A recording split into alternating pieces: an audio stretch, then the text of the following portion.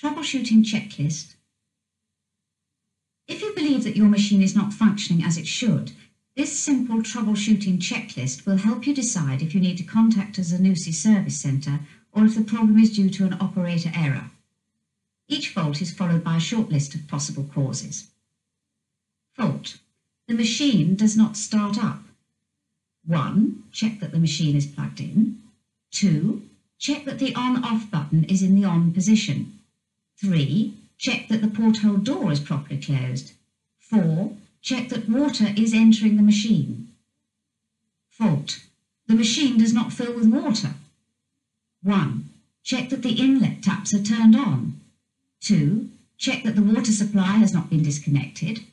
3. Check that the water inlet hoses are not kinked. 4. Is the water pressure too low? Fault. The machine does not drain or spin. 1. You have selected a delicate or synthetics wash cycle. 2.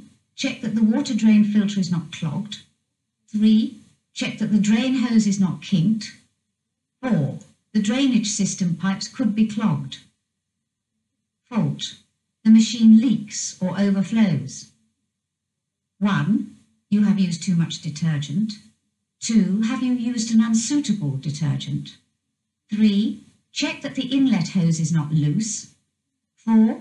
The detergent dispenser drawer or its recess is clogged. 5.